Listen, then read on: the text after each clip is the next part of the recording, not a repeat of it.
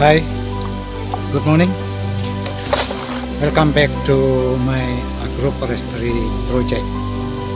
Uh, during the growth of this vanilla plant, uh, I do continuously uh, edit leaf litter to the base of this vanilla plant. The aim of the addition is to keep or to maintain the soil moisture of the root medium of this plant and keep the root medium fertile. Because uh, the leaf litter will be decomposed and release a lot of nutrients, but it takes uh, time, maybe one years or half years. It's depending on the type of leaf. During the establishment of this project, I maintain the the tree, the various uh, species of tree is remain intact. So the leaf litter could be continuously supplied by the, the tree. I, as you can see here, various type of tree here are growing, such as champaka, uh, etc. A lot of tree here. Continuous addition of the leaf litters into the base of the vanilla plant is very important because the leaf litter is required by the plant for their organic matter and for their nutrient.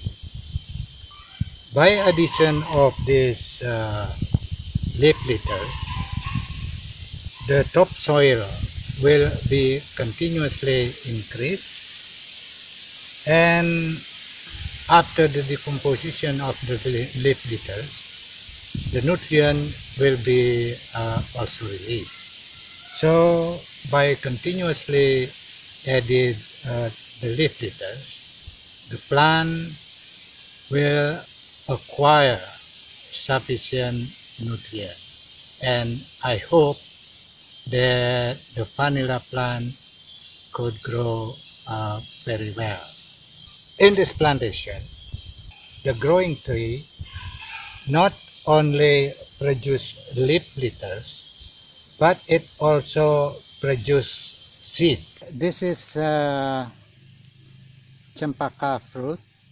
It contains seed. This seed is a favorite food for a various bird. During the feeding, the wild chicken could scratch the leaf litters that has been collected. What is the the problem that can be raised by the the wild chicken? When the wild chicken these leaf litters from the base of the vanilla plant, the root of this vanilla will be exposed to the air and very quickly dry because as we know that uh, vanilla shallow uh, rooted plant and very easily uh, exposed to the air and it means the root will be dry. If the root is dry, then it might unable to to take up water or nutrient because embolism. There will be air in the root, therefore endanger the vanilla plant. To avoid that possible problem, then we have to fence these uh, leaf litters around the base of the vanilla plant about uh, 75 centimeters in diameter.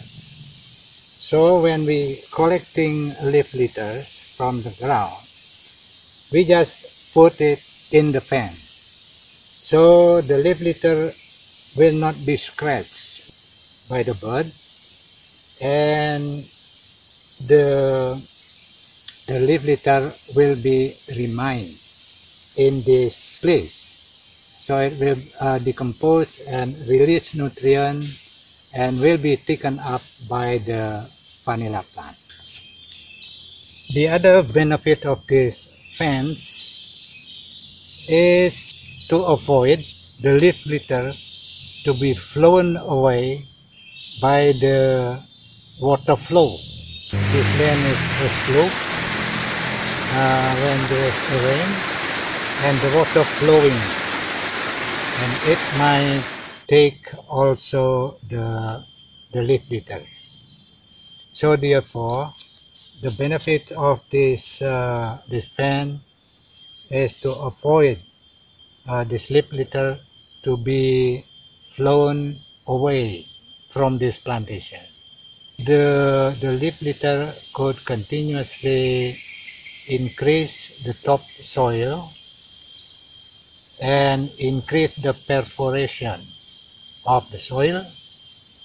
Therefore, the percolation of water into the soil is uh, much better and nutrient release after the leaf litter is decomposed also remain stay in this uh, area. So the the vanilla plant could grow better. By using this method in the agroforestry system we keep the tree to maintain our environment and we harvest the benefit of the leaf litter produced by the tree. And we could also feed various birds. That their their song is very beautiful. Okay thank you for watching. Uh, I hope you healthy and keep safe during this pandemic. Thank you.